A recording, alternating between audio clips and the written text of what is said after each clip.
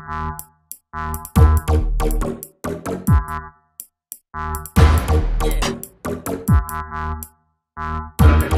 we two scholars, two scholars for that, but we through scholars.